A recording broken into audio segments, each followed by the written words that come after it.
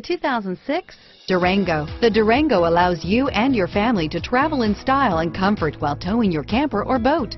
It offers more interior room and towing capability than most midsize SUVs and has an available third row of seating. Underneath are sturdy body-on-frame mechanicals and the option for a powerful V8 engine. This vehicle has less than 100,000 miles.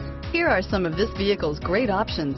Traction control, stability control, cruise control, fog lamps, passenger airbag, heated driver seat, power windows, remote power door locks, trip computer, leather seats, tachometer, tilt steering wheel, heated passenger seat, driver memory seats, power heated outside mirrors, roof rack. This vehicle is Carfax certified one owner and qualifies for Carfax buyback guarantee. If you like it online, you'll love it in your driveway. Take it for a spin today.